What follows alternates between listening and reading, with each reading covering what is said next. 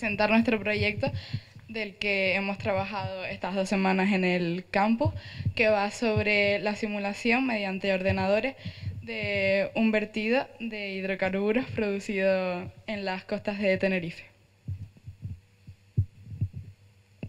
Vale, el resumen que lo va a hacer nuestra compañera Julia. En este proyecto vamos a hablar sobre cómo nos...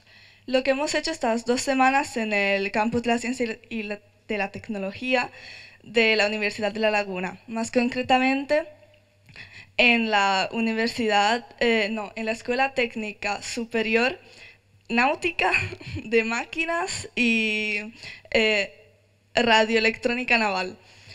Em, en este, lo que pretendemos es dar a conocer algunos de los casos de accidentes navales más importantes y que han contaminado el medio ambiente, eh, dañándolo de las formas más graves, como matando muchísimas formas de vida, vida y también em, mm, contaminando todas las aguas y algunas rendiéndolas inhabitables. Em, así que para ello también cogimos un buque que lo hemos mm, categorizado como nuestro buque problema y, con este, y a este buque lo hemos, hemos supuesto que tuviese un accidente. Em, para ello teníamos que, teníamos que simular que se vertiese en el mar una clase de vertido y calculando las corrientes marinas y los vientos y también eh, la cantidad de vertido y la distancia de las islas, cuánto tardaría en eh, contaminar y la gravedad de la situación, que, la consecuencia de la situación después. Eh, así que a continuación explicaremos mejor todo esto.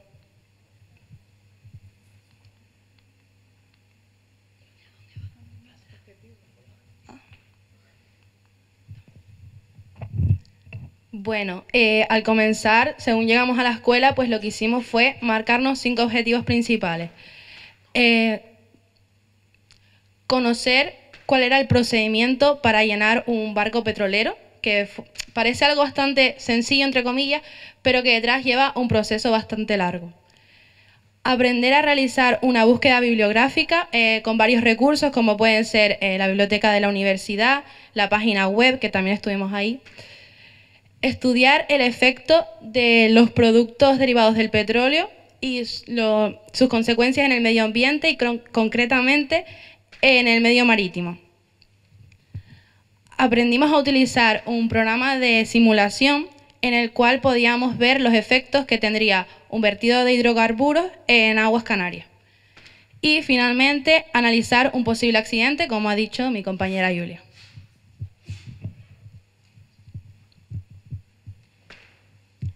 Vale, los dos conceptos que tenemos que tener claros para realizar la simulación son lo que es una marea negra y la contaminación marina.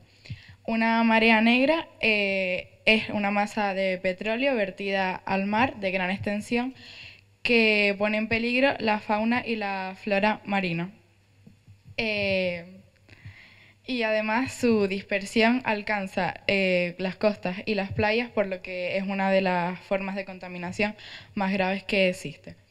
Y la contaminación marina es la introducción de contaminantes nocivos, tanto sólidos como líquidos, no habituales en un ecosistema eh, determinado.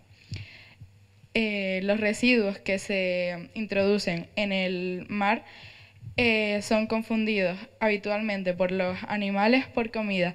Por lo tanto, esto produce daños en su salud. Y esto da lugar a un ciclo que es que los eh, peces mm, más pequeños se comen los microplásticos y esos peces son comidos por los peces más grandes hasta llegar hasta nosotros en las, en las pescaderías de los supermercados. Vale, los antecedentes. Los tres barcos que hemos tenido como referencia, que se han considerado los más importantes por mm, distintas causas que voy a explicar ahora, son el Torrey Canyon, el Exxon Valdez y el Prestige. El Torrey Canyon, aparte del vertido de hidrocarburos al mar que se produjo, eh, dio lugar a una liberación de gases contaminantes. Eh, sí. Y debido a un intento fallido de limpieza del vertido mediante bombas. El Exxon Valdez, gracias a él, se reforzó la, las medidas y las normativas de contaminación marina, eh, que fue un accidente producido en Alaska, perteneciente a los Estados Unidos. Y además, este vertido se intentó limpiar mediante agua caliente a presión y fue un intento fallido ya que eh, produjo la extinción de la fauna y la flora que había en, ese sitio, en el mar de allí. Y el Prestige, debido a este accidente en las costas gallegas, se agilizó la, la normativa de doble casco en los buques de mercancía peligrosa.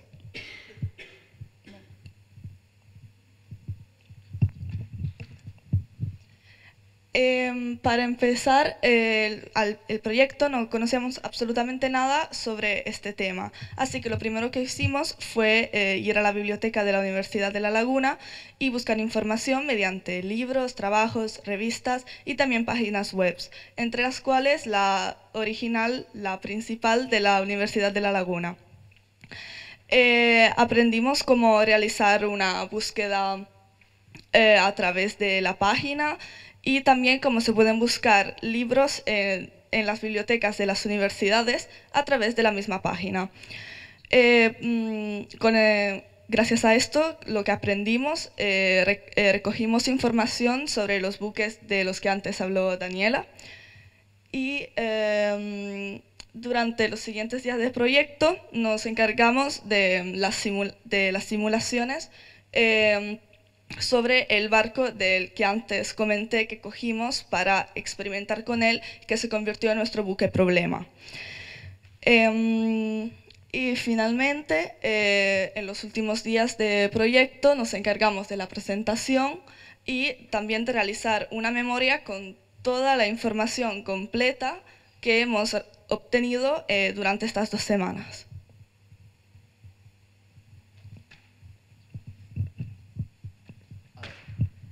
Estos son, eh, estos son todos los datos del Sea Racer, que es el barco que hemos elegido como buque de problema. Eh, el doble casco es a comienzo, bueno, cuando se empezaron a, mm, a, realizar los transportes de mercancías peligrosas, se utilizaba un solo casco, por lo que los accidentes eran mayores debido a las colisiones post con rocas, icebergs, etc.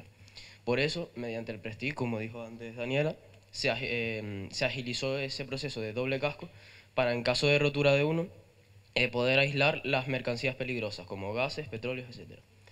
Eh, vale, las características de este buque son el número eh, IOIMO es el número internacional de identificación como el ISBN de un libro, pues igual, para que mm, eh, todos los países del mundo puedan seguirlo. Vale, las loras es el largo y la manga es el ancho, o sea, es 274 metros por 50. Es un buque bastante grande, de los más grandes que, hay ahora navegando. Eh, se, eh, se, construyó en 2002 eh, y está activo en este momento. O sea, está en uso, está en, País Vasco ahora mismo, cargando para ir otra vez a la, parte de Asia, en el norte de Asia. el nombre es Sea Racer y eh, ese otro número, el MMSI, es el que tiene que dar eh, a cada, cada, vez que llega a un puerto o cada vez que se acerca por un puerto eh, para saber toda la mercancía que lleva, o sea, todos los datos que, del barco que ha de actualizar cada vez que se realice un cambio.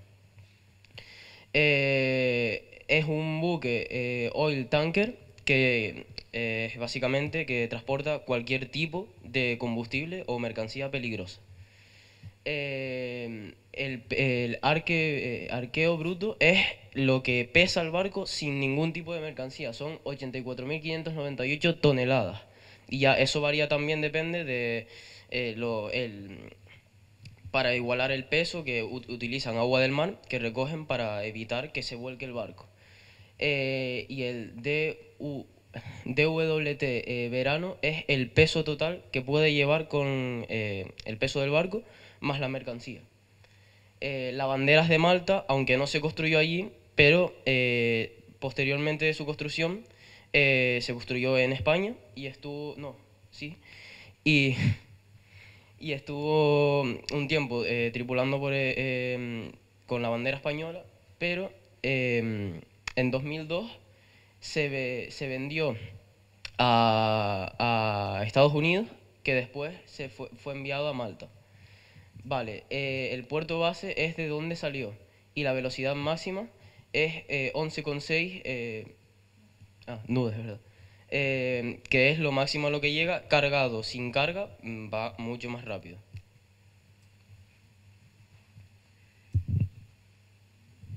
Vale, pues bueno, como han dicho ya mis compañeros, pues estuvimos durante varios días siguiendo el buque. Y bueno, esto lo hicimos mediante una página a la que todo el mundo puede acceder, se llama Marine Traffic. en ella hay, se ve todos los barcos a partir de un tamaño que están navegando a tiempo real y les pone toda la información, lo que transporta, hacia dónde va, pues eso es lo que estuvimos mirando nosotros de nuestro barco problema. Bueno, eh, supimos, estuvimos haciéndolo durante varios días y supimos que partió de Valeta, que se encuentra en Malta, es la capital, y salió de allí el 4 de julio de este año a las 6 y 16 de la tarde. estuvo varios días de travesía hasta que llegó a Bilbao, que el que era el destino, eh, que llegó el 18 de julio a las 7 y 5 de la mañana. Todo esto a hora internacional. Como saben, cada país tiene un horario diferente, pero en los barcos pues hay como un horario para todos. Y bueno, eso creo. Ah, y que la verdad, como dijo antes, que iba bastante rápido. Por, ejemplo, el primer día que nosotros lo miramos, estaba entrando en Canarias y ya por la noche ya había casi salido. Entonces va a bastante velocidad.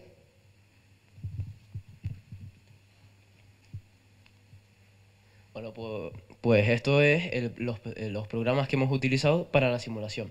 Eh, tenemos el, NOM, que es el programa donde eh, el de la simulación. Y después está el Google Earth, que es donde, de donde cogimos los datos para realizar la cartografía, para simular la isla, Tenerife en este caso. Y después em, Bueno, después otra página, que perdón, que no me acuerdo el nombre, eh, que es de donde sacamos los datos. Ah, Puertos del Estado. Eh, de donde sacamos los datos para, eh, del viento y de las mareas. Bueno, lo primero que, hicimos fue coger del Google Earth la, la, la, latitud y la, y la o sea, el punto exacto, donde recoger varios puntos de la isla para, hacer la forma de, la cartografía.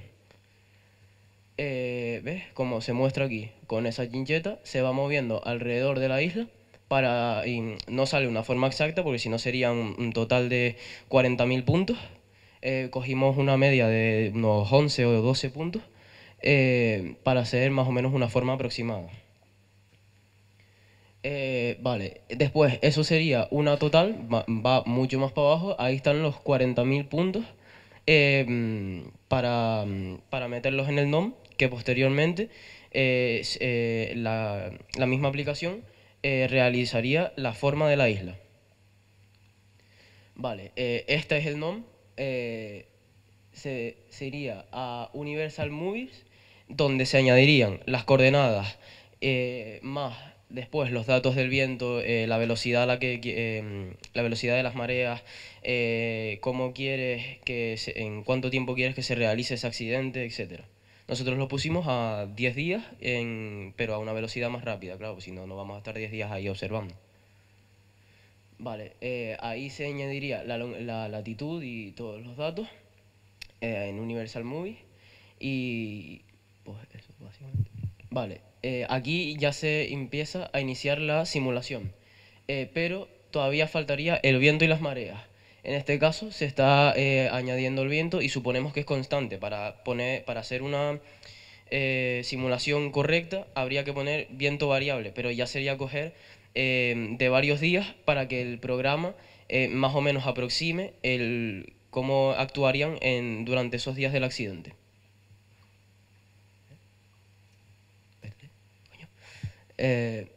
Después, estos son em, el, eh, el tipo de combustible es eh, crudo medio, eh, porque si sería, por ejemplo, gasolina y otros, se evaporan.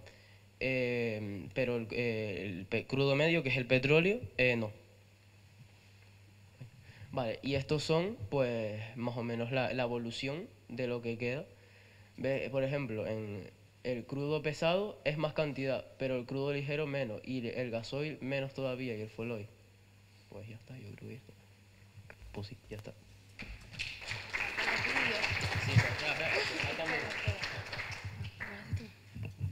A ver, ahora les vamos a poner nuestras simulaciones. Hicimos una si se derramaran 3.500 litros de petróleo y otra con gasoil, para que vean la diferencia y a cuánta zona de la isla afectaría. A ver, eh, esta sería la del petróleo. Vemos que todo lo que se libera desde el buque hasta la isla eh, llega en su totalidad. Después eso ya se toma una serie de medidas para, mm, para hacer que se para limpiarlo en las costas con agua a presión, no caliente, porque si no acabaríamos con todo lo que hay en las rocas y tal. Y ahora vamos a ver una simulación de eh, con gasolina, con gasoil, para ver la diferencia.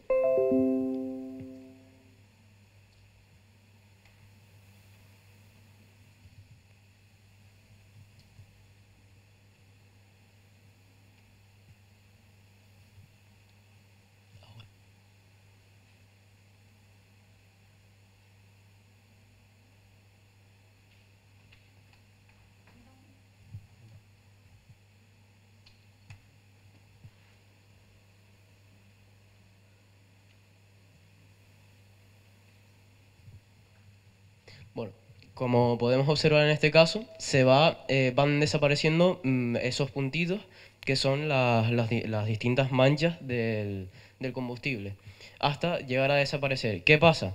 Que al ser, em, al haber sido más manipulado, al haber sido más procesado, eh, se evapora con más facilidad. Es, por ejemplo, cuando ponemos la gasolina, ese como medio, mm, no humo, sino como medio, eh, la evaporación, es lo que se ve, es la evaporación de la gasolina.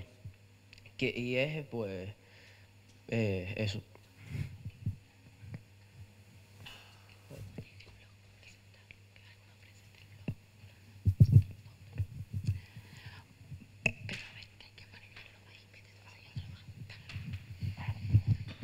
Bueno, nosotros también durante el campus hemos estado realizando un blog en el que hemos narrado que hemos realizado eh, cada día que hemos estado en el campus. Eh, ¿Pincha alguno de los días? Pues, por ejemplo, el- lo que hicimos el primer día, pues lo fuimos narrando cada uno y nuestra experiencia. Después, eh, quién somos, lo, somos estudiantes de tercero de la ESO, que venimos aquí, eso. Y nuestro proyecto que hemos trabajado cada, en sí, nuestro proyecto, que hemos trabajado durante el campo.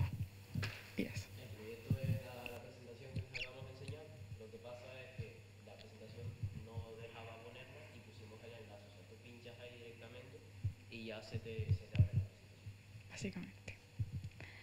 Y pues, pues agradecer a nuestros monitores, a Víctor y a Cande, que no puede estar hoy aquí, pero ha estado también una semana con nosotros, y a nuestros investigadores, Agustín y Federico y Cristo, que nos han ayudado a hacer esta experiencia posible y a hacerla más amena para nosotros.